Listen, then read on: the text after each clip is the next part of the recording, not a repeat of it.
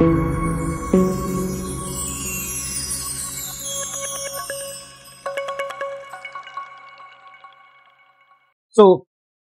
हम बात करें इस पूरे के पूरे केस में तो क्या होता है कि पॉलीपेप्टाइड एंड पेप्टाइड्स में चर्चा करेंगे तो पेप्टाइड्स की कुछ इंपॉर्टेंट चीज़ें मेंशन की गई है पहली, कि पेप्टाइड्स या प्रोटीन्स जो होते हैं, वो होते क्या है? They are the short they are the short polymers of the amino acids जब मैं पेप्टाइड की बात करता हूँ प्रोटीन्स जो होते हैं, वो थोड़े बड़े होते हैं, पेप्टाइड थोड़े छोटे छोटे फ्रैगमेंट्स होते हैं। तो अमीनो एसिड्स जो होते हैं, वो पहले पेप्टाइड्स बनाते हैं और पेप्टाइड्स जो होते हैं, वो मिल के प्रोटीन्स बनाते हैं। तो बेसिक तौर पे जो पेप्टाइड्स होते हैं they are the short polymer of the amino acids और अमीनो एसिड्स क्या है? मोनोमर है तो अमीनो एसिड मोनोमर से जो शॉर्ट पॉलीमर बनता है, वही आपका पेप्टाइड कहलाता है। ठीक है? पेप्टाइड के ऊपर जब बात करते एंड पेप्टाइड के ऊपर जब बात करने की कोशिश करते हैं, ठीक है तो peptide consist of two to fifty amino acids peptide जो है लगभग दो अमीनो एसिड से लेकर पचास अमीनो एसिड तक हो सकता है। अब इसमें कितने अमीनो एसिड्स को किस कैटेगरी में फॉलो करेंगे, उसके ऊपर चर्चा करेंगे। एंड दैट दे दीज दो पेप्टाइड्स जिसमें अमीनो एसिड दो से पचास हो सकते हैं, वो अमीनो एसिड जिस लिंकेज या जिस बॉन्ड से जुड़े होते हैं they are linked by the peptide bond जिस बॉन्ड से जुड़े हैं, वो है पेप्टाइड बॉन्ड एक अमीनो एसिड एक जो है दूसरे अमीनो एसिड से पेप्टाइड बॉन्ड से जुड़ा होता है, जिसको दूसरे शब्दों में बोलते हैं अमाइड बॉन्ड याद रहे कि अमाइड बॉन्ड और भी जगहों पे होता है नेचुरली कई सारे और कार्बोहाइड्रेट्स के केसेस में जब वो जुड़ते हैं या लिपिड जब जुड़ता है तो भी बनाता है अमाइड लिंकेज आपने। जो फैटी एसिड अगर पढ़ा होगा तो उसमें जो लिपिड लिंक प्रोटीन्स होते हैं, उन लिपिड लिंक प्रोटीन्स में जो आपके एक इंपॉर्टेंट किस्सा आता है, जिसको बोलते हैं मिरिस्टिक एसिड मिरिस्टिक एसिड जो होता है, वो जुड़ता है आपके प्रोटीन्स के साथ और प्रोटीन्स का जो एन टर्मिनल होता है, उस पर जो ग्लाइसिन होता है ग्लाइसिन का ही अमीनो ग्रुप जुड़ता है मिरिस्टिक एसिड के कार्बोक्सिलिक एसिड से और जो लिंकेज बनाता है, वो बनाता है अमाइड लिंकेज उस लिंकेज को आप पेप्टाइड नहीं बोल सकते क्योंकि वहाँ पे दोनों जो ग्रुप्स इन्वॉल्व हुए थे बॉन्ड फॉर्मेशन में, उसमें एक फैटी एसिड का था और एक अमीनो एसिड का था. एंड इसीलिए वो लिंकेज अमाइड लिंकेज से बोला जा सकता है पेप्टाइड लिंकेज नहीं बोला जा सकता. पेप्टाइड लिंकेज आप तभी बोलेंगे जबकि दोनों के दोनों जो ग्रुप्स बॉन्ड बनाने में इन्वॉल्व हो रहे हो, दोनों ही अमीनो एसिड्स है। और वो लिंकेज प्रोटीन में या पेप्टाइड बनाने में यूज़ किए जा रहे हैं। न कि कुछ और बनाने में इसलिए ऐसे को आप पेप्टाइड बोलते हैं। तो peptide is nothing this is simply amide linkage but ये जो है, आपके कहाँ पे प्रेजेंट होते हैं? प्रोटीन अब कोई भी प्रोटीन जो सिंथेसाइज हो रहा है, या कोई भी जो चीज़ें हो रही है, वो राइबोसोमल और नॉन राइबोसोमल दोनों सिंथेसिस हो सकते क्योंकि आप किसी भी प्रोटीन को सिंथेसाइज करते हैं तो हर प्रोटीन, ज़रूरी थोड़ी कि आप राइबोसोमल सिंथेसाइज करें। कुछ प्रोटीन्स जो होते हैं, वो नॉन राइबोसोमल मैनर में भी सिंथेसाइज होते हैं। और कुछ तो ऐसे होते हैं जो कि आप केमिकली भी सिंथेसाइज कर सकते हैं। इट इज़ नॉट नेसेसरी कि आपको राइबोसोम देने की ज़रूरत पड़े। तो ऑल्दो नॉन राइबोसोमल प्रोटीन को जो सिंथेसिस होती है, वो थोड़ी रेयर होती है, लेकिन प्रोटीन या पेप्टाइड दोनों नेचर के हो सकते हैं।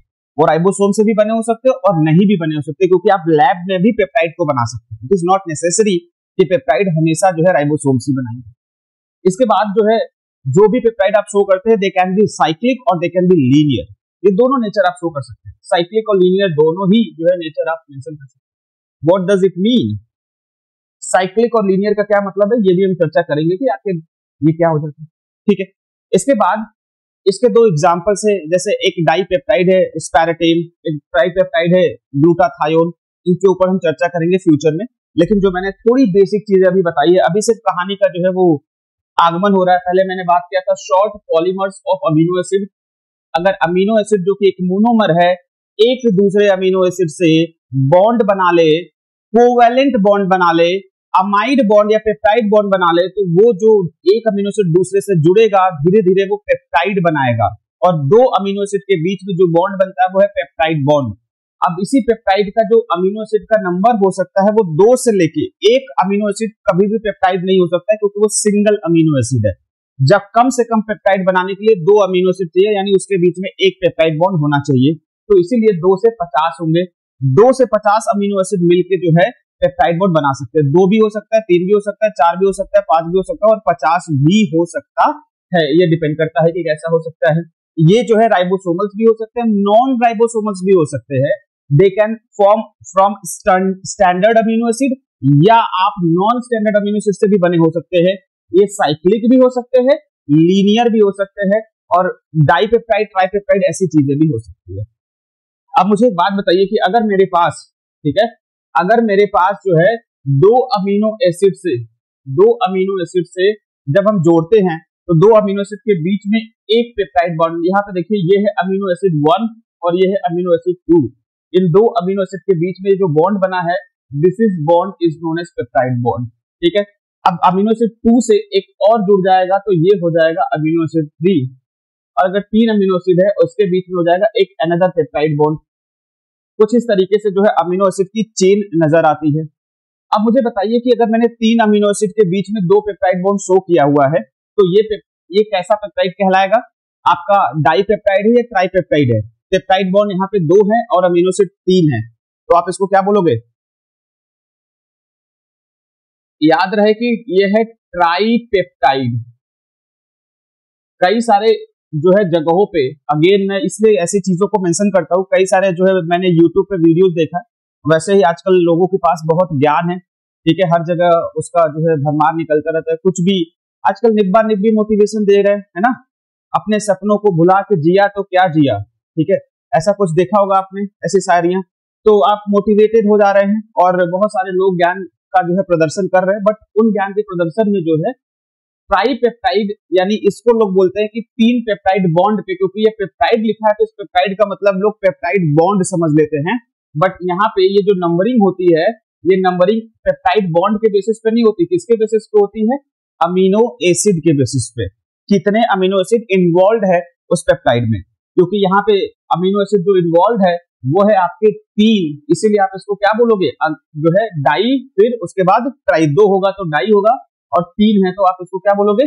ट्राईपेप्टाइड और चार हो जाएगा तो फिर क्या बोलोगे?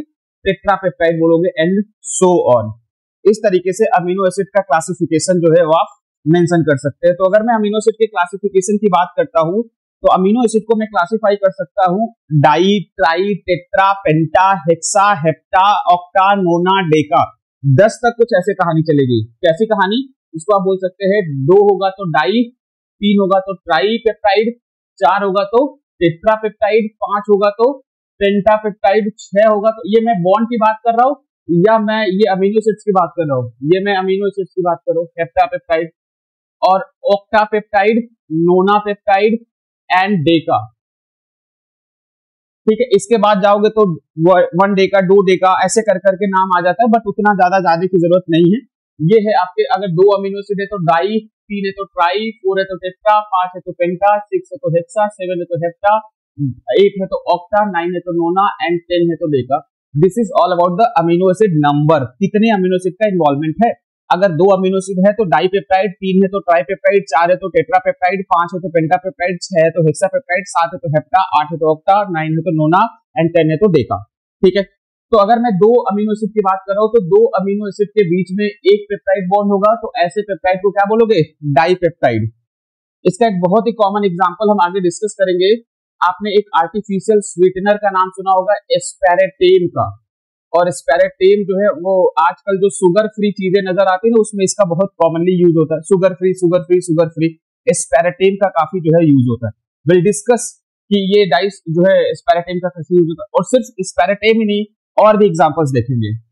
ट्राइपेप्टाइड में आपके कितने अमीनो एसिड्स होंगे? थ्री अमीनो एसिड्स और इन तीन अमीनो एसिड्स के बीच में कितने पेप्टाइड बॉन्ड होंगे?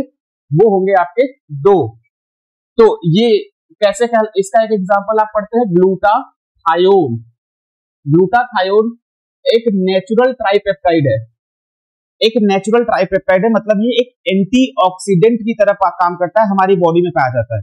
हम इसके बारे में भी चर्चा करेंगे डिटेल में। मैं सिर्फ़ आपको क्लासिफिकेशन बता रहा हूँ तो वहाँ पे जो है चीज़ों को शो कर इसके अलावा अगर मैं दो से मोर देन दो से लेके लेस देन ट्वेंटी मतलब अमीनो एसिड का जो नंबर है, वो दो से बीस के रेंज में हो। टू टू ट्वेंटी तो आप ऐसे को शो करते हैं that is going to be oligopeptide. क्या कहलाएँगे आप इसको? ओलिगोपेप्टाइड कहेंगे। और अगर 50 से ज़्यादा जो आपने 50 अमीनो एसिड शो किया था, अगर उससे ज़्यादा अमीनो एसिड का नंबर हो जाए तो ऐसा क्या कहलाएगा?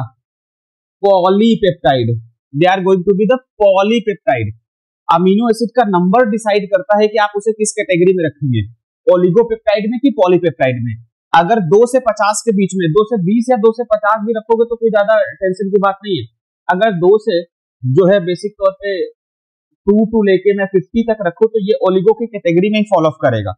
और अगर मैं बात करता हूँ आपके पॉलीपेप्टाइड की तो पचास से ज़्यादा, जैसे कुछ अमीनो एसिड्स जैसे अगर हम बात करते हैं इंसुलिन में तो इंसुलिन में अल्फ़ा चेन बीटा चेन में एक में एक सौ इकतालीस अमीनो एसिड्स होता है, एक में एक सौ छियालीस होता है।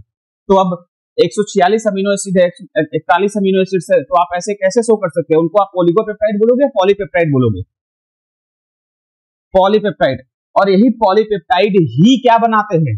पॉलीपेप्टाइड ही क्या बनाते हैं? प्रोटीन तो जो प्रोटीन आप बोलते हैं तो protein are basically polypeptide they are not the oligopeptides जितने भी फंक्शनल प्रोटीन्स आप देखते हैं नेचर में जो प्रेजेंट है, या जो कोई भी एक बायोलॉजिकल फ़ंक्शन परफॉर्म करता है दे आर बेसिकली पॉलीपेप्टाइड्स मतलब उनमें अमीनो एसिड का नंबर 50 से ज़्यादा होना चाहिए। उन अमीनो एसिड को तोड़ के आप छोटे छोटे ओलिगोपेप्टाइड बना सकते हैं। लेकिन आपका mostly functional protein I repeat mostly जो फंक्शनल प्रोटीन होते हैं those functional protein are basically polypeptide so peptide क्या है? Peptides are the polymers of amino acids जिसमें दो से लेके पचास तक अगर अमीनो एसिड्स का नंबर है तो ओलिगो की कैटेगरी में रखेंगे, और पचास से ज़्यादा है तो पॉली की कैटेगरी में रखेंगे। और ओलिगो में भी दो से दस का नाम कुछ इस तरीके से चलेगा। अगर दो अमीनो एसिड थे तो ट्राई टेट्रा पेंटा तो समथिंग लाइक दैट ये ध्यान रख लेंगे यहाँ तक बेसिक चीज़ें समझ में आई क्या? बोलो। ठीक है? ये तो अभी बेस चल रहा है। पेप्टाइड जैसा मैंने बताया कि पेप्टाइड के ऊपर आप बात कर रहे थे तो अमीनो एसिड कुछ इसी तरीके से सीक्वेंस में जुड़ा होता है। देखो, जब भी एक अमीनो एसिड जुड़ा होगा तो अमीनो एसिड कुछ इस तरीके से प्रोटीन जो है वो जुड़े रहते हैं। जिसमें एक अमीनो एसिड रेजिड्यू होगा, दूसरा अमीनो एसिड तीसरा अमीनो एसिड इस तरीके का होगा। जो पहला अमीनो एसिड होगा, उसका इंटरनल फ्री रहेगा। और जो लास्ट वाला होगा उसका सी टर्मिनल फ्री रहेगा। बट हाउ इसके बारे में भी बात करेंगे। This two terminologies you need to remember one is generally amino acid अगर कहीं पे सिर्फ़ ये लिखा है अमीनो एसिड अगर कहीं पे सिर्फ़ किसी लिटरेचर में अमीनो एसिड लिखा है तो इसका मतलब है कि ये क्या लिखना चाह रहा है कि amino acid present in the free form मतलब अभी उसने पेप्टाइड बॉन्ड नहीं बनाया, अभी उसने पेप्टाइड बॉन्ड नहीं बनाया है। इसके बाद हो सकता है कि एक लिटरेचर में एक वर्ड जुड़ जाता है अमीनो एसिड रेजिड्यू ये बहुत स्पेसिफिक टर्म है रेजिड्यू रेजिड्यू का मतलब है जैसे आप पहले अगर ऐसे आवारों की तरह घूम रहे हैं, ठीक है? तो आपको कोई भी टाइटल मिलता है। जैसे आप किसी जगह पे रहने लगते हैं तो उसका टाइटल आपके साथ कि आप यहाँ के रेजिडेंट है, उसका आधार कार्ड बन जाएगा। तो यहाँ पे अमीनो एसिड जब किसी प्रोटीन में इंक्लूड हो जाता है तो उसका जो है आधार कार्ड बन जाता है। उसके आधार कार्ड के नाम के तौर पर क्या बोलते थे रेजिड्यू मतलब ऐसा अमीनो एसिड क्या होगा? इट इज़ प्रेजेंट इन या बाइंडेड फॉर्म होगा। ठीक है? यानी कि ये जो है, आप बोल सकते हैं प्रेजेंट इन प्रोटीन्स ये प्रोटीन में प्रेजेंट है या पेप्टाइड में प्रेजेंट है। समझ में आ रहा है क्या? कि अमीनो एसिड रेजिड्यू अगर मैंने बोला, जैसे यहाँ पे देखो, मैं अमीनो एसिड नहीं बोल रहा हूँ। I am talking about amino acid residue amino acid residue amino acid residue मतलब they are incorporated as a peptide they are not present in the free form that's why you are saying that they are the amino acid residue ठीक है? तो amino acid दो form में बोले जा सकते हैं। किसी किसी के मन में आ रहा होगा, आखिर में ये जो बना है, ये स्ट्रक्चर बनता कैसे है? मैं अगर थोड़ा सा बुद्धि विवेक का प्रयोग करवाऊ, अगर पिछले जन्म में जाके देखिए, जब पिछले जन्म में हमने अमीनो एसिड पढ़ा था उस अमीनो एसिड में क्या था? एक जो है आपके पास सी अल्फ़ा कार्बन था भाई। One is the C alpha carbon और इस सी अल्फ़ा कार्बन से एक तरफ़ जुड़ा होता है सी ओ ओ एच ग्रुप ठीक है? तो एक सी अल्फ़ा से एक तरफ़ होगा प्रोटॉन एक तरफ़ होगा अमीनो ग्रुप एक तरफ़ होगा उसका आर ग्रुप आर ग्रुप कुछ भी हो सकता है जो मैं बता चुका हूँ और एक होगा कार्बोक्सिलिक ग्रुप अब इसका कार्बोक्सिलिक ग्रुप देखिए ये रहा। अब दूसरे अमीनो एसिड को देखोगे तो इसका हाइड्रोजन इसका आर ग्रुप इसका जो है आपका कार्बोक्सिलिक और इसका जो है अमीनो ग्रुप तो एक अमीनो एसिड का अमीनो ग्रुप और दूसरे अमीनो एसिड का कार्बोक्सिलिक ग्रुप जो है, इन्हीं दोनों के बीच में बॉन्डिंग का फॉर्मेशन होता है. इन्हीं दोनों के बीच में बॉन्डिंग का फॉर्मेशन होता है. अगर मैं इसको क्लासिफाई करने की थोड़ी सी कोशिश करूँ तो अमीनो एसिड को आप ऐसे बोलते हैं. दैट इज़ एनसीसी देखो, जब भी अमीनो एसिड को क्लासिफाई करोगे तो आप क्या बोलोगे? एनसीसी बोलोगे. ठीक है?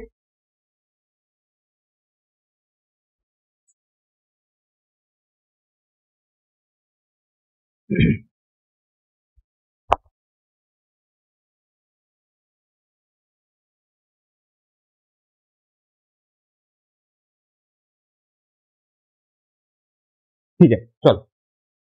तो अब मैं एनसीसी के ऊपर बात कर रहा था। तो इस एनसीसी में, ये देखो एन सी अल्फ़ा सी इस एनसीसी को आप बोल सकते हैं एन सी अल्फ़ा सी है। ये एक आपका पहला अमीनो एसिड है।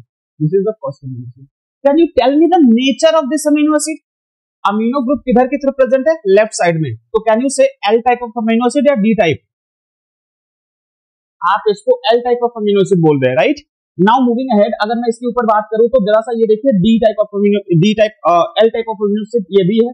इसका अमीनो ग्रुप अब दूसरे अमीनो एसिड की बात करो, देखो ये है N C alpha C yes और नो और ये जो सी अल्फ़ा है, ये जो सी अल्फ़ा है, ये बेसिक तौर पे अमीनो ग्रुप से जुड़ा हुआ है अमीनो ग्रुप से इधर से जुड़ा हुआ है, इधर कार्बोक्सिलिक है, और इस सेकेंड अमीनो एसिड का this is your second amino acid second amino acid का अमीनो ग्रुप और फ़र्स्ट अमीनो एसिड का कार्बोक्सिलिक ग्रुप ये दोनों आपस में जुड़े, ठीक है? और ये जुड़ के क्या बना रहे हैं? पेप्टाइड बॉन्ड और यही है peptide bond this C O N H यही है सी एन वाला जो बॉन्ड है।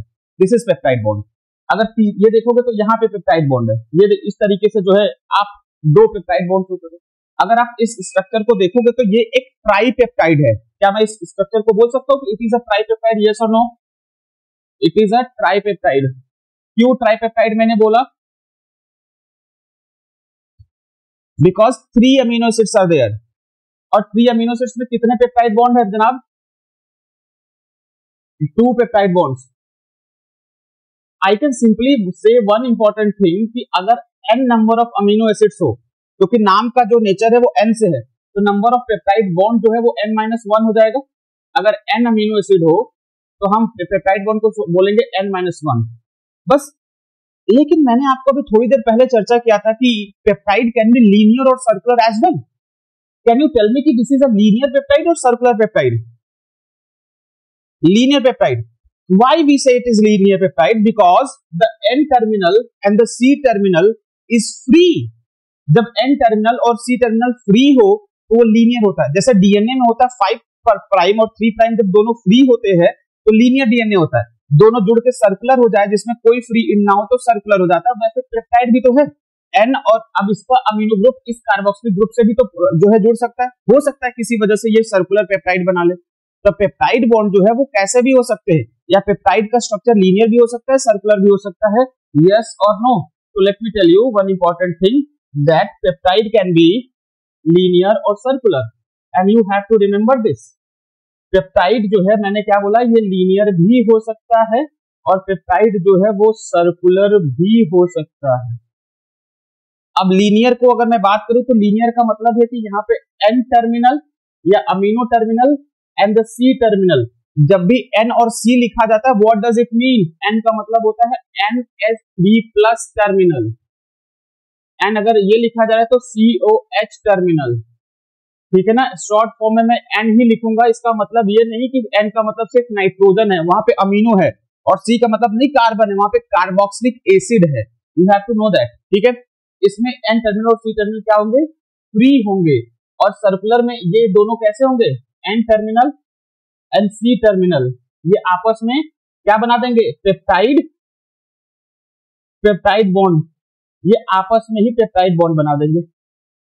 चलिए देख लो मैंने क्या बोला यहाँ पे। ठीक है? तो अमीनो एसिड की जो है कहानी पढ़ रहे थे और मैंने यहाँ पे सो के देखो अमीनो एसिड एक अमीनो एसिड दूसरा अमीनो एसिड तीसरा अमीनो एसिड चार अमीनो एसिड इसका मैंने सी टर्मिनल फ्री कर दिया और इसका एन टर्मिनल फ्री कर दिया।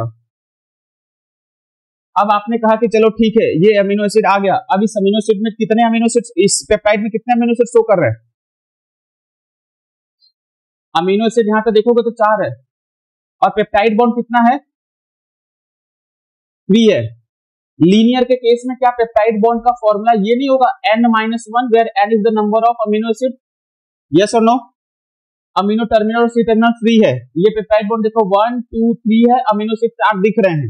सर्कुलर बना सकते हैं चार ही अमीनो एसिड का।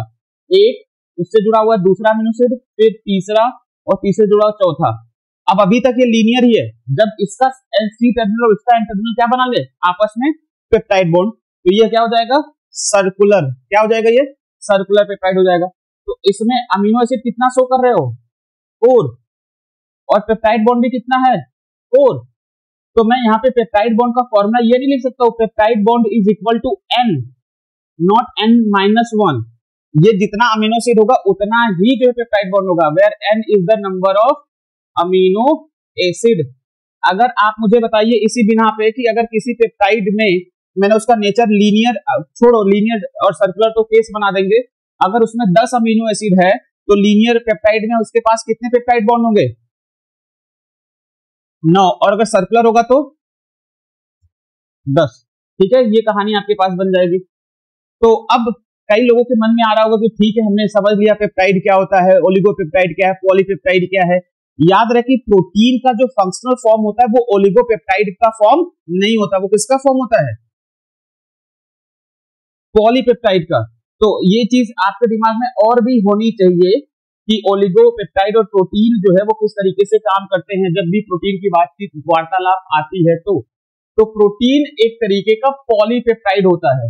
ये ओलिगोपेप्टाइड नहीं होता। और अगर जैसे मैंने पॉलीपेप्टाइड बोला तो इसमें नंबर ऑफ़ अमीनो एसिड कितना शो करोगे? मोर देन 50 शो करोगे ना? Number of amino acid more than 50 मैं अगर किसी भी एक एग्जांपल की बात कर लेता हूँ, जैसे इंसुलिन में अल्फ़ा बीटा चेंज होते हैं but whatever it is मैंने एक पेप्टाइड को शो किया है। ठीक है? एक, ये पॉलीपेप्टाइड यानी एक प्रोटीन है। और इस प्रोटीन को मैंने इसका शो किया कि इसमें कितने अमीनो एसिड शो किए, मैंने 300 तो बताओ, ये पॉलीपेप्टाइड है या ओलिगोपेप्टाइड है? पॉलीपेप्टाइड है। अब इसको मैं किसी एंजाइम से डाइजेस्ट कर सकता हूँ? किसी ना किसी एंजाइम से डाइजेस्ट करूँगा। एंजाइम के एग्ज़ाम्पल के तौर पर मैं फ्यूचर में भी पढ़ाऊँगा। जैसे आप ट्रिप्सिन का नाम सुनते हैं काइमोट्रिप्सिन का नाम सुनते हैं, ये सब पढ़ेंगे फ्यूचर में कि कैसे जो है ये सब करते हैं। बट फ़िलहाल के तौर पे इन एंजाइम से डाइजेस्ट किया, ये बहुत स्पेसिफिकली डाइजेस्ट करेंगे तो इनको छोटे छोटे टुकड़ों में तोड़ेंगे। बोलो।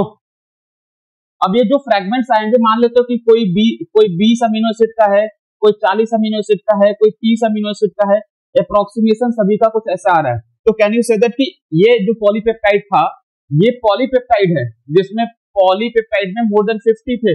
लेकिन अब आप जो फ्रेगमेंट्स बने, इसको क्या बोलोगे? ओलिगोपेप्टाइड ठीक है? और ये ओलिगोपेप्टाइड्स को फिर फर्दर जो है, आप स्टडी कर सकते हैं, अगर आपको सीक्वेंस चाहिए अमीनो एसिड का तो। ठीक है? अब मैं सीक्वेंसिंग भी डिटेल में आपको फ्यूचर में बताऊँगा कि कैसे करना है बट फ़िलहाल के तौर पे आपको प्रोटीन ओलिगोपेप्टाइड और अमीनो एसिड के सीक्वेंस में डिफरेंस क्लियर होना चाहिए। हर ओलिगोपेप्टाइड प्रोटीन नहीं हो सकता फंक्शनल नहीं हो सकता। प्रोटीन जो है वो फंक्शनल फॉर्म पॉलीपेप्टाइड के फॉर्म में रहेगा और वो ओलिगोपेप्टाइड फ्रेगमेंटेड फॉर्म में है और फ्रेगमेंटेड जो है अमीनो एसिड के फॉर्म में आ सकता है। ठीक है? इतनी बात समझ में आई? अब फिर से दिमाग में यही आएगा। एक अमीनो एसिड दूसरे अमीनो एसिड से जुड़ता कैसे है? वाई वन अमीनो एसिड जो है join with the second amino acid तो अगेन मैंने आपको बोला था कि बायोलॉजिकल प्रोसेस में एक केमिकल फिनोमेना होता है and that chemical phenomena is known as nucleophilic attack ये जो है, इसको पूरा का पूरा एकदम सूत्र की तरह याद कर लो, मंत्र की तरह न्यूक्लियोफिलिक अटैक जहाँ पे भी मोलिकुलर मैकेनिज्म की बात आई, वहाँ पे कहीं ना कहीं से न्यूक्लियोफिलिक अटैक घूम फिर के हो रहा होगा। यहाँ भी वही होता है। भले ही खुद नहीं कर पाता, लेकिन दूसरे से करवाया जाता है। चलिए देखते हैं कैसे। ये काम पेप्टाइड बॉन्ड फॉर्मेशन अपने आप नहीं होता एनर्जी जो है इंटेंसिव प्रोसेस है, ठीक है? लेकिन फ़िलहाल के तौर पे थोड़ा बात करने की कोशिश करते हैं। अब यहाँ पे चर्चा हम करें तो थोड़ा ध्यान देने की कोशिश करिएगा एनर्जी जो है वो चाहिए अटैक करवाने के लिए। तो मैं एक अमीनो एसिड को यहाँ पे शो किया हूँ। इस अमीनो एसिड में आपने शो किया, ये है आपके पास सी अल्फ़ा आर और एच ये अमीनो ग्रुप है कार्बोक्सिल ग्रुप है। इस अमीनो एसिड का नेचर आप शो करोगे that is L amino acid ठीक है? और कई बार एक क्वेश्चन कई लोग पूछते हैं कि why L amino acid can not join directly with the D amino acid in the translation उसका भी यहीं पे लॉजिक क्लियर हो जाएगा। आप खुद सोचो कि एल अमीनो एसिड है। फॉर एग्ज़ाम्पल फॉर एग्ज़ाम्पल अगर मैं यहीं पे जो है डी अमीनोसिड रखू तो डी के मतलब उसका अमीनो ग्रुप किधर की तरफ़ हो जाएगा? किधर की तरफ़ होगा भाई? राइट साइड में। और इधर की तरफ़ क्या होगा? सीओ एच अब ये बताओ कि ये सीओ एच इस सीओ एच से कभी भी बाँध बना पाएगा? नहीं बना सकता ना। अगर एक एल और एक डी कैसे अटैक कर सकते हैं? क्योंकि दोनों का ग्रुप सेम आ जाएगा। कार्बोक्सिलिक कार्बोक्सिलिक सेम साइड होगा, या तो अमीनो अमीनो सेम साइड होगा। They can not form the peptide bond इसीलिए एल और डी नहीं जुड़ सकते। इसीलिए जो प्रोटीन में इंकॉर्पोरेशन होता है मोस्टली एल होता है। और ये मैं मोलिकुलर बायोलॉजी में जब स्टेटमेंट की बात करूँगा कि एल होता है, उसके पीछे केमिकली या बायोकेमिकली यही लॉजिक है, क्योंकि डी और एल एक साथ ऐसे सिक्वेंसली पेप्टाइड बॉन्ड बना ही नहीं सकते। अगर एक एल अमीनो एसिड है तो उसे पेप्टाइड बॉन्ड बनाने के लिए दूसरा भी एल होना चाहिए, ठीक है? अब पहला डी हो जाए तो दूसरा भी डी हो सकता है, लेकिन पहला डी क्यों नहीं होता? इसके लिए वहाँ बात करेंगे, वो कैसे डी नहीं हो सकता है। अब मैं आगे चलता हूँ। तो जैसा मैंने बताया कि पेप्टाइड बॉन्ड बनाने के लिए अगर पहला एल अमीनो एसिड है तो second should be the L amino acid as well L amino acid क्यों बोला क्योंकि अमीनो ग्रुप किधर की तरफ़ है लेफ़्ट साइड है। ये मैं इंफॉर्मेशन बता चुका हूँ। ठीक है? अब मुझे बताइए यहाँ पे, कुल मिला जुला के इस अमीनो ग्रुप की बात करते हैं, इस धर की बात करते हैं। तो ये नाइट्रोजन थोड़ा सा पार्सली निगेटिव है कि नहीं है? नाइट्रोजन पार्सली निगेटिव है मतलब इलेक्ट्रोनेगेटिव है। इलेक्ट्रॉन अपनी तरफ़ खींचेगा तो ये हाइड्रोजन कैसा फील करेगा? Partial positive. This oxygen is also electronegative compound. This also feels lone pair करेगा कि नहीं करेगा? है ना? अरे बोलो भाई। ठीक है। और इस तरीके से कहानी एक बना सकते इनके बारे में। इसके बाद दूसरी चीज़ अगर मैं बात करूँ तो दूसरा कंडीशन ये भी हो सकता है कि मैं अगर अमीनो ग्रुप इससे और इससे ध्यान रखे तो इसमें क्या होता है कि पेप्टाइड बॉन्ड फॉर्मेशन के लिए ये जो ग्रुप्स होते हैं एच और ओ OH, ये क्या कहते हैं? ये कहते हैं कि भाई छोड़ो इस मोह माया को। हम दोनों मिल जाते हैं। ठीक है? और एक गाना गाते हैं। क्या? और वो गाना आपने सुना होगा कि मैं रंग सरबतों का, तू मीठे घाट का पानी, मुझे खुद में घोल दे तो है बात बन जानी। तो अब ये ये दोनों मिल के कहते हैं कि देखो हम पानी बना सकते हैं, मीठे घाट का। तो दे आर बेसिकली अब ये अटैक करता है, और ये यहाँ से निकलेगा। इस तरीके से। दूसरा अटैक इस तरीके से, अगर ये नहीं समझ रहे हो तो देखो कई लोग कहेंगे ये इलेक्ट्रोफिलिक अटैक है। न्यूक्लियोफिलिक अटैक कहाँ हुआ? ठीक है? तो ये कंडीशन हो सकता है। और इलेक्ट्रोफिलिक अटैक क्यों नहीं होता है? इसके लिए भी मैं बता चुका हूँ, पहली जाके क्लास देखो। जो लोग रिकॉर्डिंग देखे क्लासेस में नहीं आते हैं, बेटा क्लास में फिर दोबारा क्वेश्चन मत पूछा करो, नहीं तो अभी तो बच जा रहे हो किडनी तोड़ दूँगा दो तीन महीने बाद। जब थोड़ा थोड़ा आगे आओगे ना, जब लास्ट में चीज़ें चलेंगी ना, और फिर अगर ऐसा क्वेश्चन आया तो बचोगे नहीं फिर। फिर उस दिन रोना ही पड़ेगा मेरी क्लास में, क्योंकि मैं रुला देता हूँ फिर उसके बाद। ठीक है? उसके बाद फिर कोई सोचोगे, इज़्ज़त करूँगा तो नहीं। आओ तो सारी चीज़ें रिवाइज करके आओ, मेरी क्लास में बार बार मिलती मूविंग अहेड ये नाइट्रोजन के पास भी लोन पेयर है। ये ऑक्सीजन जो है, इस कार्बन पे भी एक पार्शियल पॉजिटिव चार्ज क्रिएट करेगा। ठीक है? अब ये कहानी देखना जो मेन अटैक होता है। ये तो है ये जो इनका है। लेकिन ये अटैक नहीं करता। ये नाइट्रोजन जिसके पास एक लोन पेयर है, ये इस कार्बन के ऊपर अटैक करेगा। बिकॉज़ ऑक्सीजन के पास लोन पेयर और इस पॉजिटिव के पास तो ऐसे अटैक को क्या बोलते हैं? न्यूक्लियो न्यूक्लियो न्यूक्लियोफिलिक अटैक ये नाइट्रोजन इस कार्बन को कहता है कि इस ओ OH को धोखा दे दो, ठीक है? या ओ OH को जो है, वो कर देते हैं। आपने कभी कभी ऐसा सुना होगा ना? बेसिक तौर पे आजकल शादियों का सीज़न चल रहा है और इससे ज़्यादा एल्ड्रोलॉजी अच्छी हो ही नहीं सकती। शादियों में क्या होता है कि ये मान लेते हैं सी दैट इज़ अ दुल्हन और एन दूल्हा है, ठीक है? और दुल्हन के साथ उसकी सहेलियाँ हैं और दूल्हे के साथ भी जो है उनके दोस्त होते हैं। तो क्या होता है कि वो हँसी मज़ाक और खुल के बातचीत कर नहीं पाते या कभी कभी रिश्ता देखने जाते हैं। तो अरे, लड़का लड़की को थोड़ा समय चाहिए होता है तो वो कहता है कि एक काम करो, तुम मेरे दोस्त जाओ, सालियों से मज़ाक करो। तो उनको उधर निपटा देता हाइड्रोजन को भेजेगा, जाओ, सालियों के साथ जो है एंजॉय करो वाटर बनाओ। और इधर मैं तब तक सी के साथ क्या बना लूँगा? बॉन्डिंग बना लूँगा। तो ये दोनों कितना गुपचुप तरीके से काम करते हैं कि नाइट्रोजन जो है कार्बन पे अटैक करता है, ताकि ये ओ OH और ये इनकी जोड़ी बन जाए, भैया पानी निकल जाए और हम एक दूसरे से बॉन्ड बना ले। तो this is the nucleophilic attack जो कि कितना ब्यूटीफुली होता है। बट ये अपने आप नहीं हो सकता। इसके लिए एक एंजाइम की ज़रूरत होती है और उस एंजाइम का नाम होता है पेप्टाइडिल ट्रांसफरेज पेप्टाइडिल ट्रांसफरेज ये पेप्टाइडिल ट्रांसफरेज की जो प्रॉपर्टी होती है वो राइबोसोमल आरएनए में पाई जाती है। और ये प्रोकैरियोट में जो है 23s राइबोसोमल आरएनए में होता है। मैं इसको आगे मॉलिकुलर बायोलॉजी में डिस्कस करूँगा। और यू कैरियोट में जो होता है, ये 28s राइबोसोमल आरएनए में होता है। ठीक है? बी क्लियर विद दैट ठीक है? तो ये एंजाइम इस अमीनो ग्रुप को प्रोवोक करता है कि भाई यार इनको निकालो, यहाँ से आपस में बॉन्डिंग करो और काम बन जाएगा। तो चलिए देखिए OH और इसकी कहानी जो है बन जाएगी। ये OH और एच निकल के वाटर निकलेगा। और जब यहाँ से वाटर निकलेगा, ठीक है? आप यहाँ से करें कि वाटर जो है निकल जाए तो जब वाटर किसी भी रिएक्शन में निकलता है तो उस प्रोसेस को क्या बोलते हैं? डीहाइड्रेशन या हाइड्रेशन बोलेंगे। उसको बोलेंगे डीहाइड्रेशन ठीक है? डीहाइड्रेशन वाटर रिमूव हो रहा है। और डीहाइड्रेशन का ही एक दूसरा नाम होता है, जिसको बोलते हैं दैट इज़ कॉन्डेंसेशन क्या बोलते हैं? कॉन्डेंसेशन कॉन्डेंसेशन ही डिहाइड्रेशन का काम है। जहाँ पे कंडेंस हो रहा पानी जो है, वहाँ से रिलीज़ हो रहा है। ठीक है? अब इस केस के बाद ये जो बॉन्ड बनेगा किसके किसके बीच में बन रहा है? सी ओ और एन एच देखो। यस और नो तो ये जो है स्ट्रक्चर आ जाएगा सी ओ और एन एच के बीच में। This bond is known as peptide bond मैं इसको अमाइड भी बोल सकता हूँ, लेकिन मैं इसको स्पेसिफिकली पेप्टाइड इसलिए बोल रहा हूँ peptide bond is the amide bond present in the protein simply peptide bond amide bond जो प्रोटीन में प्रेजेंट होता है, और वही है, यहाँ पे, ये दो अमीनो एसिड जुड़ गए। अब दूसरे अमीनो एसिड का ये देखो सीओएच है, अब ये तीसरे अमीनो एसिड के अमीनो टर्मिनल से जुड़ेगा, और फिर वहाँ से एक वाटर निकलेगा, और फिर जो है बॉन्ड बन जाएगा। जैसे आप स्वाहा के तौर पर पानी छिड़कते हैं ना, वैसे ही हो रहा पानी निकला, और फिर बॉन्ड बन गया। तो इसके बाद जो है, इस तरीके से जो है कहानी आगे चलती रहेगी, और ये अमीनो एसिड जुड़ते चले जाएँगे सीरीज़ में। जो पहला अमीनो एसिड है, उसका अमीनो ग्रुप देखो फ्री है कि नहीं है? The first amino acid that amino group is free है कि नहीं है?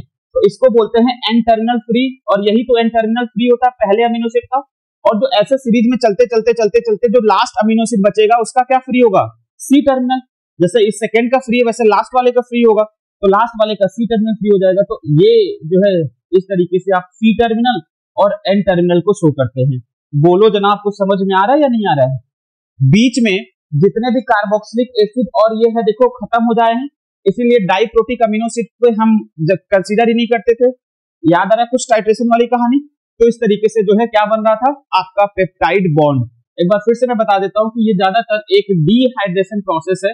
और डीहाइड्रेशन प्रोसेस का मतलब है कि यहाँ पे H2O जो है, वो रिमूव होता है। अब उसके बाद जो है अमीनो एसिड यहाँ पे रेजिड्यू बन जाते हैं, क्योंकि अब वो बॉन्ड बना लिए तो अब वो रेजिड्यू बन जाएँगे। पेप्टाइड बॉन्ड का प्रोसेस एक एंडरगोनिक प्रोसेस है. The formation of peptide bond ये एक एंडरगोनिक प्रोसेस है. एंडरगोनिक का मतलब वहाँ पे एनर्जी रिक्वायर्ड होगी कि एनर्जी रिलीज़ होगी? एनर्जी रिक्वायर्ड होगी. एक्सरगोनिक होता तो रिलीज़ होती. एंडरगोनिक का मतलब है एनर्जी रिक्वायर्ड होगी. और जब एनर्जी रिक्वायर्ड होगी तो कितनी एनर्जी रिक्वायर्ड होगी? वो एनर्जी होती है plus twenty one kilo joule per mole. कुछ कुछ बुक में रेंज भी लिखा हुआ है।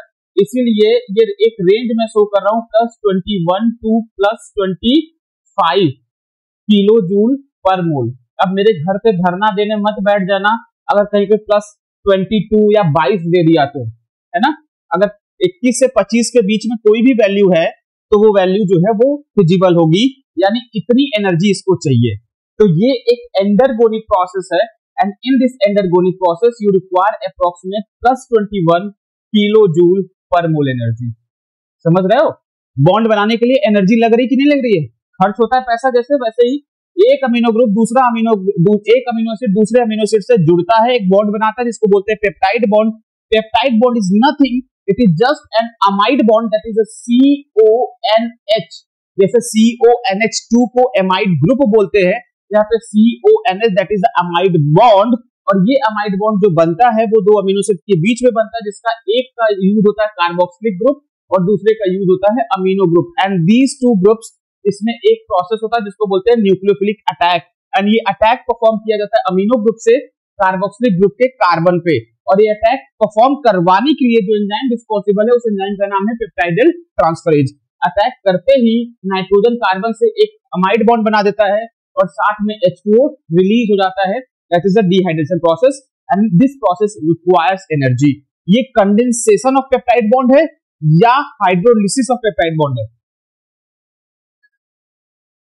कंडेंसेशन ऑफ़ पेप्टाइड बॉन्ड है। याद रहे कि कंडेंसेशन का मतलब होता है सिंथेसिस ऑफ़ पेप्टाइड बॉन्ड क्या बोलोगे आप उसको? सिंथेसिस ऑफ़ जैसे ही कंडेंसेशन का टर्म आया, उसका मतलब है सिंथेसिस और कंडेंसेशन में एनर्जी जो है ज़रूरी है, लग रहा है कि एनर्जी रिलीज़ हो रहा है। ठीक है? एनर्जी लग रहा है। यहाँ पे डेल्टा जी पॉजिटिव है। अब मैं अभी आपको डेल्टा जी पढ़ाया नहीं हूँ फ्यूचर में आएगा, लेकिन मैं आपने अगर बचपन में कभी भी बेसिक डेल्टा जी पढ़ा होगा तो यू नो दैट कि डेल्टा जी कैसा होता है? डेल्टा जी होता है पॉजिटिव भी और निगेटिव भी। अगर पॉजिटिव है तो ये कैसा होता है? नॉन स्पॉन्टेनियस होता है। पढ़ा है कुछ ऐसा बेसिक और नेगेटिव होगा तो स्पॉन्टेनियस अब जो प्रोसेस नॉन स्पॉन्टेनियस होगा, उसका मतलब है उसे एनर्जी देनी पड़ेगी। है ना? जो अपने स्पॉन्टेनियस का मतलब अपने आप होने वाला। जो अपने आप नहीं हो रहा है, उसके लिए एनर्जी चाहिए। और कितनी एनर्जी चाहिए?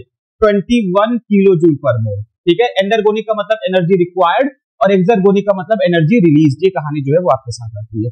तो ये था पेप्टाइड बॉन्ड का फॉर्मेशन अब आपको धीरे धीरे चीज़ें क्लियर हो रही थी, चीज़ें क्या हो रही थी। अब इसमें जो सिक्वेंस था, देखो, एक जो पेप्टाइड बॉन्ड बना होगा, इस एक पेप्टाइड बॉन्ड की जब हम बात करते हैं तो एक अमीनो एसिड दूसरे से जुड़ा तो यहाँ पे एक वाटर मॉलिक्यूल रिलीज़ हुआ होगा कि नहीं?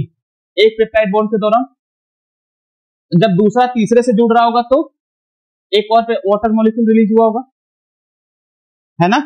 और इस तरीके से कहानी चल रही होगी। अरे बोलो यस और नो जितना पेप्टाइड बॉन्ड बनेगा, उतना ही वाटर मॉलिक्यूल रिलीज़ होगा या उससे ज़्यादा हो जाएगा? उतना ही रिलीज़ होगा।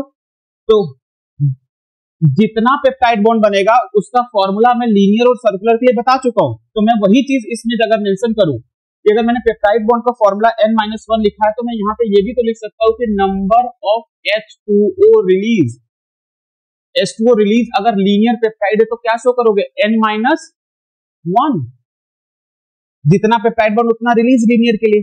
एंड सर्कुलर के लिए नंबर ऑफ़ H2O रिलीज़ कितना कर दोगे?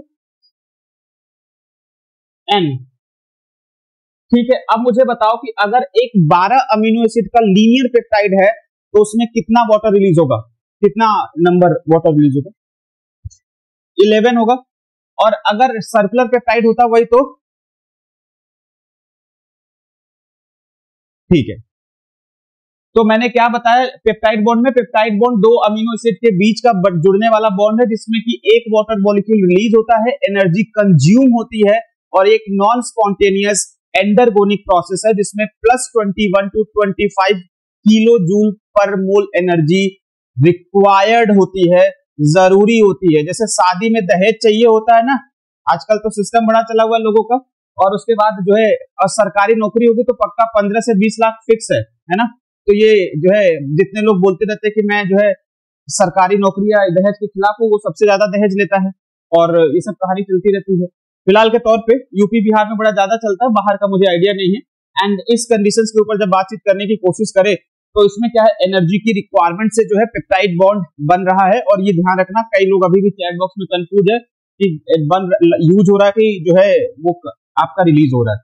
मैं रिक्वायर्ड रिक्वायर्ड इंग्लिश जो बोल रहा हूँ रिक्वायर्ड का मतलब होता है यूज़ हो रहा है, ज़रूरी हो रही है, ठीक है? चलो। दूसरा कॉन्सेप्ट मैंने यहाँ पे लिखा है पेप्टाइड बॉन्ड हाइड्रोलिसिस मैं इसी के साथ पेप्टाइड बॉन्ड हाइड्रोलिसिस बना रहा हूँ कि अगर पेप्टाइड बॉन्ड बन चुका है तो उसको तोड़ा भी जा सकता है। अगर कोई चीज़ बन जाती है तो उसको तोड़ा भी जा सकता है। और आप बताइए कि पेप्टाइड बॉन्ड हाइड्रोलिसिस जो है वो, उस, अगर पेप्टाइड बॉन्ड के बनाने में एनर्जी लगी है तो पेप्टाइड बॉन्ड के हाइड्रोलिसिस में एनर्जी रिलीज़ होगी या लगेगा? ठीक है? मैंने एक अमीनो एसिड को शो किया है। मैंने एक डाई पेप्टाइड को शो किया जिसमें मैंने एक पेप्टाइड बॉन्ड को यहाँ पे मेंशन किया है। अब ये ऑलरेडी पेप्टाइड बॉन्ड बन चुका है। ऑलरेडी जो है ये पेप्टाइड बॉन्ड बन चुका है। और जब ये ऑलरेडी पेप्टाइड बॉन्ड बन चुका है तो इस ऑलरेडी पेप्टाइड बॉन्ड में जब इसको तोड़ना हो तो ये ऑटोमेटिकली स्पॉन्टेनियस हो जाएगा। खुद टूट सकता है। ठीक है एनर्जी जो है वो बेसिक तौर पे रिलीज़ होगी। और इस प्रोसेस को बोलते हैं डीहाइड्रेशन यहाँ पे क्या होगा? हाइड्रोलिसिस में सॉरी डीहाइड्रेशन का प्रोसेस नहीं शो करेंगे आप। यहाँ पे क्या शो करेंगे? हाइड्रेशन या हाइड्रोलिसिस ठीक है, ये गलत लिखा हुआ है, मैं इसको लिख दे रहा हूँ। यहाँ पे H2O रिलीज़ नहीं होगा। H2O की क्या होगी? रिक्वायरमेंट होगी। H2O यहाँ पे जो है चाहिए। तो H2O इंक्लूड होगा, जिसको बोलेंगे हाइड्रोलिसिस और ये हाइड्रोलिसिस से जो प्रोटॉन्स होते हैं, वो जाएँगे और इस बॉन्ड को तोड़ेंगे। तभी तो एक इसी का जो ओ OH होगा, जब ये टूटेगा तो O OH minus plus H plus आ जाएगा। और उसका H जो है, वो नाइट्रोजन पे चला जाएगा और ओ OH माइनस कहाँ चला जाएगा? कार्बोक्सिलिक पे। तो ये है हाइड्रोलिसिस ठीक है? तो क्या एक चीज़ जरा ध्यान देना। मैंने दो टर्म्स की बात करी। कंडेंसेशन ऑफ़ पेप्टाइड बॉन्ड का मतलब क्या है? कंडेंसेशन का मतलब क्या है? कंडेंसेशन का मतलब है सिंथेसिस क्या है जनाब? सिंथेसिस है कंडेंसेशन का मतलब। और ये सिंथेसिस कैसा प्रोसेस है? एंडरगोनिक या एक्सरगोनिक एंडरगोनिक ठीक है? स्पॉन्टेनियस या नॉन स्पॉन्टेनियस नॉन स्पॉन्टेनियस ठीक है? कितनी एनर्जी होती है? लगभग प्लस ट्वेंटी वन टू ठीक है? अच्छा ये जो प्लस ट्वेंटी वन यानी जो पॉजिटिव वैल्यू हो रही है, ये पॉजिटिव वैल्यू कंडेंसेशन में कि हाइड्रोलिसिस में है? कंडेंसेशन में। अगर मैं हाइड्रोलिसिस की बात करता हूँ, ठीक है? यहीं पे मैं हाइड्रोलिसिस की बात कर रहा हूँ तो हाइड्रोलिसिस में जो है सिंथेसिस होगा या पेप्टाइड बॉन्ड का ब्रेकडाउन होगा। ब्रेकडाउन होगा। एंडरगोनिक या एक्सरगोनिक एक्सरगोनिक स्पॉन्टेनियस या नॉन स्पॉन्टेनियस स्पॉन्टेनियस होगा। डेल्टा जी की वैल्यू प्लस होगी कि निगेटिव होगी? और निगेटिव जनरली इसी के बराबर होता है, लेकिन मैंने वो वैल्यू लिखी नहीं है, लेकिन अप्रोक्सीमेट 25 किलो जूल के आसपास होगा। जितना उसको बनाने में लगा होगा एनर्जी जब उसको तोड़ोगे तो उतनी एनर्जी तो रिलीज़ होगी लगभग लगभग सीधी सी बात। तो ये कहानी जो है वो आपके हाइड्रोलिसिस और कंडेंसेशन की, कि पेप्टाइड बॉन्ड बनाने का और तोड़ने का अलग अलग कंडीशन है। और दोनों कंफ्यूज मत होना। जब कंडेंसेशन सिंथेसिस होती है, तब पॉजिटिव एनर्जी है। और जब हाइड्रोलिसिस करते हैं तो एनर्जी कैसा है? पॉजिटिव या नेगेटिव नेगेटिव है। और ऐसे क्वेश्चंस आपके साथ आ सकते हैं। ठीक है ना? बोलो क्लियर हुआ या नहीं हुआ? ठीक है। क्लियर हो रहा है। ठीक है, आगे बढ़ते थोड़ा और क्लियर होगा। तो आपको मैंने ये चीज़ शो करी थी और मैं बता चुका हूँ ऑलरेडी कि जितने भी पेप्टाइड बोन बन रहे होंगे। यहाँ पे देखो पेप्टाइड बोन कौन सा होगा? ये एक अमीनो एसिड है एन सी अल्फ़ा सी जब भी आपको इस फॉर्म में किसी भी चेन को लिखना हो तो ऐसे लिखना है। कैसे? एन सी अल्फ़ा सी एक अमीनो एसिड अब इसके बाद दूसरा क्या होगा? एन सी अल्फ़ा सी फिर तीसरा एन सी अल्फ़ा सी फिर fourth that is N C alpha C and fifth N C alpha C ये टोटल कितने अमीनो एसिड यहाँ पे हैं? पाँच amino acid one two three four five linear peptide है कि सर्कुलर पेप्टाइड है? This is your linear peptide है। और लीनियर पेप्टाइड है तो यहाँ पे पेप्टाइड बॉन्ड कितने बनेंगे? पाँच अमीनो एसिड में। फोर एक बॉन्ड कौन सा है? ये, एक यहाँ पे सीओएनएच एक यहाँ पे सीओएनएच और एक यहाँ पे सीओएनएच यस और नो देखो, पहला पेप्टाइड बॉन्ड दूसरा पेप्टाइड बॉन्ड तीसरा पेप्टाइड बॉन्ड चौथा पेप्टाइड बॉन्ड बोलो। पल्ले पड़ रहा है कुछ कुछ और जितने पेप्टाइड बॉन्ड होंगे, उतना ही क्या रिलीज़ होगा? वाटर मॉलिक्यूल तो मैं ये चीज़ बता चुका हूँ कि number of water molecule should be the number of peptide bond जितना पेप्टाइड बॉन्ड बनेगा, उतना ही वाटर मॉलिक्यूल रिलीज़ होगा, जो कि अभी आपने पढ़ा था। ठीक है? एंड क्या मैं नंबर ऑफ़ एनर्जी रिलीज़ नहीं निकाल सकता? अगर एक बॉन्ड के लिए, जैसे एनर्जी जो रिलीज़ होगी, याद रहे कि एक बॉन्ड के लिए कितनी एनर्जी की रिक्वायरमेंट लग रही थी? प्लस ट्वेंटी वन तो number of peptide bond into plus twenty one यही लिखोगे? तो कितना आएगा फोर इंटू ट्वेंटी वन का? Eighty four plus eighty four kilo joule per mole ठीक है? Plus eighty four kilo joule per mole ये आ जाएगा। ठीक है? चलो। कुछ समझ में आया कि नहीं आया अभी तक? ये पेप्टाइड बॉन्ड की चीज़ें जो शो कर रहे थे।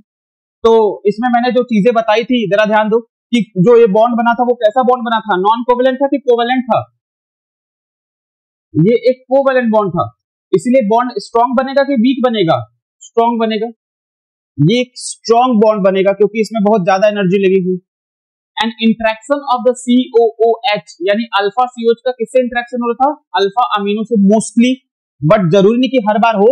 अल्फ़ा अल्फ़ा इसलिए मैंने अल्फ़ा हटा दिया है। जनरली सीओच ग्रुप का जो है, वो अमीनो ग्रुप से हो सकता है।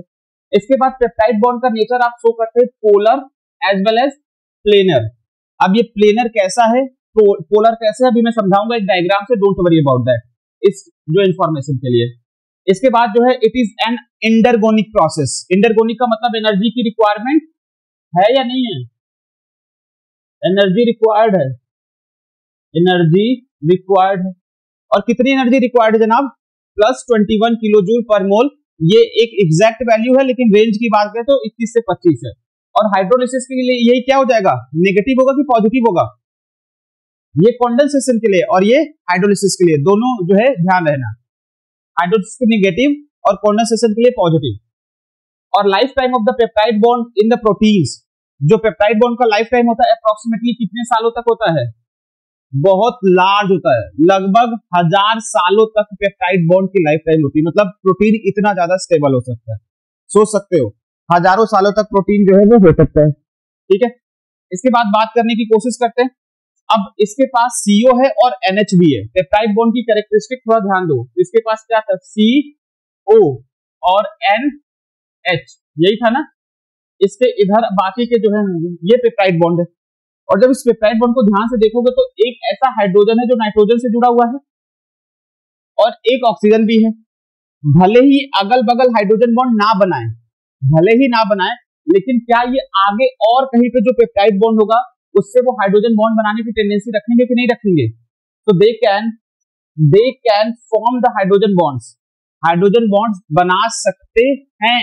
ये हाइड्रोजन बॉन्ड बना सकते हैं in different points of the main chain जो मेन चेन आपकी ऐसे चल रही थी NC alpha C NC C C C उसमें जो है ये आपस में क्या कर सकते हैं? हाइड्रोजन बॉन्ड बना सकते हैं। इसी से तो अलग अलग स्ट्रक्चर डेवलप होते हैं। हेलिक्स है सीट है, ऐसे स्ट्रक्चर आप शो करते हैं। ठीक है? मैं कैसे बनेगा? ये सब फ्यूचर में धीरे धीरे आएँगे। इसके बाद हम अमीनो एसिड को रेजिड्यू बोलने लगेंगे। अगर वो पेप्टाइड बॉन्ड बना लेता है तो ये मैं पहले ही बता चुका हूँ। इन्फॉर्मेशन क्लियर है? कैसा है बॉन्ड कोवेलेंट इंट्रैक्शन जो है सीओएच का और एनएच2 का हो रहा है। एंडरगोनिक प्रोसेस है प्लस ट्वेंटी वन कंडेंसेशन के लिए है हाइड्रोलिसिस के लिए नेगेटिव हो जाएगा। वेरी लार्ज जो है लाइफ टाइम होता है और जो फॉर्मेशन ऑफ़ हाइड्रोजन बॉन्ड्स की जब बात करते हैं तो हाइड्रोजन बॉन्ड का फॉर्मेशन करते हैं डिफरेंट पार्ट्स में और अमीनो एसिड रेजिड्यू के तौर पे कंसीडर किए जाएँगे। अब सवाल आता है कि why it is planar why it is partial double bond कई बार जो है लोग पूछते हैं कि ये जो है प्लेनर और पार्शियल डबल बॉन्ड क्यों होता है? अब थोड़ा सा ध्यान दोगे तो मैं स्ट्रक्चर को थोड़ा ड्रॉ करने की कोशिश कर रहा हूँ। समझ में आ जाएगा तो ठीक है। ये देखो सी ओ है। और ये है एन मैं सिर्फ़ पेप्टाइड बॉन्ड की बात कर रहा हूँ, बाकी छोड़ दो। ठीक है? इसके बाद ये है एनएच अब इसमें जब पेप्टाइड बॉन्ड की बात करते तो ऑक्सीजन के पास एक डबल बॉन्ड है। और ये जो डबल बॉन्ड है, ये कुछ टाइम बाद अगर इसको कुछ एनर्जी मिले या कुछ चीज़ें मिले तो ये सी और एन के बीच में आ सकता है लाइक वाइज दिस वन मतलब ये जो है, ऐसा हो सकता है। सी ओ माइनस हो जाएगा, और यहाँ पे हो जाएगा एन दिस वन ठीक है? तो इस तरीके का केस बन सकता है। पेप्टाइड बॉन्ड ऐसा भी हो सकता है और ऐसा भी हो सकता है। और ये जो इलेक्ट्रॉन, पाई इलेक्ट्रॉन आप शो कर रहे हैं, ये डबल बॉन्ड वाला, ये डबल बॉन्ड कूदता फानता रहता है। कभी सीओ के बीच में, कभी सीएन के बीच में। सीओ, सीएन सीओ, सीएन, जैसे बेंजीन में होता है। तो इस प्रोसेस को बोलते हैं रेजोनेंस ऐसी प्रोसेस को क्या बोलते हैं? जब दो स्ट्रक्चर आपस में क्या करें? कन्वर्ट होते रहे इंटर कन्वर्ट होते रहे तो इसको क्या बोलते हैं? रेजोनेंस और जब रेजोनेंस शो करेगा तो आप इस डबल बॉन्ड को ना ही सीओ के बीच में जनरली शो करते हैं और ना ही एन के बीच में। इसका जो मूल स्ट्रक्चर कुछ ऐसा नज़र करेंगे आप। सी ओ एन एच ऐसे शो करेंगे और यहाँ पे ये डॉट डॉट करके ऐसे शो करेंगे दोनों साइड में।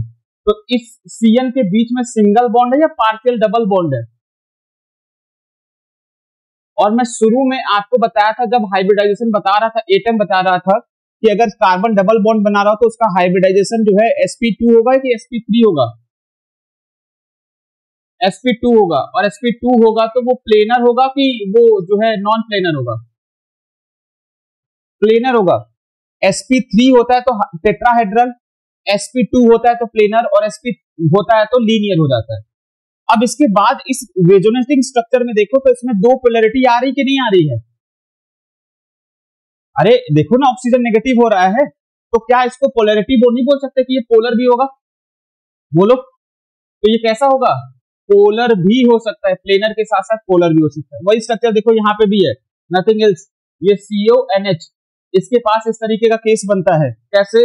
इस नाइट्रोजन के पास होता है लोन पेयर इस डबल बॉन्ड के पास ये कंडीशन है तो ये डबल बॉन्ड हो जाता है सिर्फ़ और यहाँ पे आ जाता है सी और एन के बीच में डबल बॉन्ड तो it will look like this one nitrogen positive और ये ऑक्सीजन नेगेटिव यहाँ पे देखो ये दोनों चार्ज हो जा रहे हैं, और जब ये दोनों चार्ज हो रहे हैं तो आप इसको क्या कहोगे? ये पोलर ही तो है, दो चार्ज जो पोलरिटी डेवलप कर रहा है नेगेटिव और पॉजिटिव तो ये है आपके पोलरिटी वाले कंडीशन पे, और इसके बाद फिर ये इस तरीके से चलता रहेगा तो आप इस पे जो है एक कंडीशन को मेंशन करते हैं, और वो होता है पार्शियल डबल बॉन्ड वाला कंडीशन यानी कि पार्शियल पॉजिटिव जो है एन पे और पार्शियल नेगेटिव ओ पे शो करते हैं और इसे डॉट डॉट करके आप इस तरीके का कंडीशन मेंशन कर देते हैं। तो यही केस होता है। आपका ये जो कार्बन यहाँ पे शो करे सी जो है सीओ एन एच में सी वाला जो कार्बन है, ये कार्बन कैसा होता है? एसपी टू हाइब्रिडाइज होता है।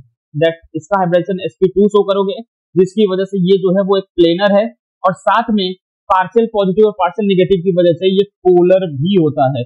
तो ये पोलर है प्लेनर है sp2 हाइब्रिडाइज है एंडरगोनिक प्रोसेस की वजह से बन रहा है। ये क्लियर हुआ कि नहीं हुआ? अरे बोलो भाई। ठीक है अगर ये क्लियर हुआ तो जरा सा ये क्वेश्चन सॉल्व करने की कोशिश करो। ठीक है? पहला क्वेश्चन है।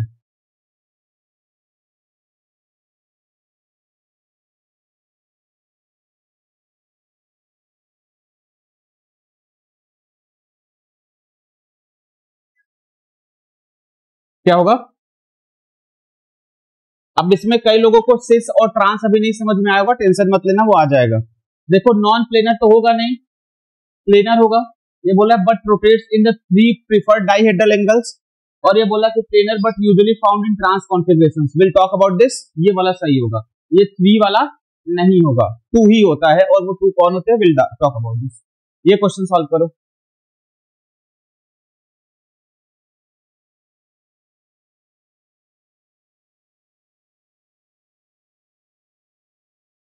सॉल्व कर पाओगे? आंसर जो होगा, वो क्या होगा? देखो, जो रिस्ट्रिक्टेड रोटेशन होता है, वैसे तो ये अभी मैं आगे बताऊँगा। रिस्ट्रिक्शन की बात कर रहे हैं, वो होता है आपके सीओ एन एच के बीच में। किसके बॉन्ड के बीच में? जो पेप्टाइड बॉन्ड होता है। तो क्योंकि तो वही पार्शियल डबल बॉन्ड होता है। तो वो जो है, इसमें कहाँ पे आ रहा है? सी प्राइम और एन यानी कि ये वाला जो बॉन्ड है। ठीक है? आंसर बी होगा। ठीक है? ये बताओ। अभी मैं उसको एक्सप्लेन करूँगा डोंट वरी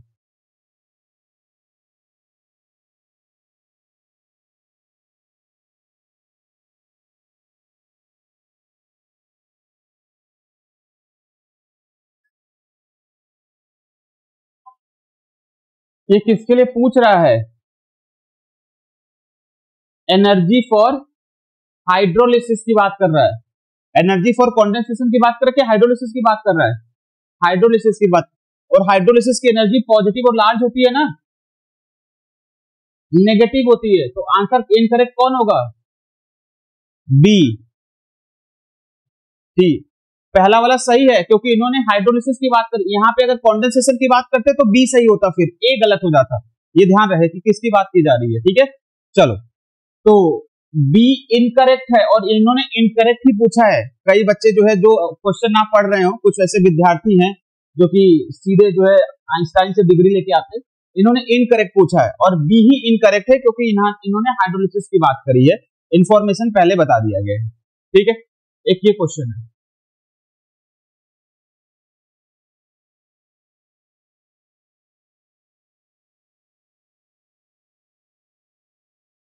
ये होगा एन एंड सी होगा। ठीक है? अरे हाँ या ना? ठीक है।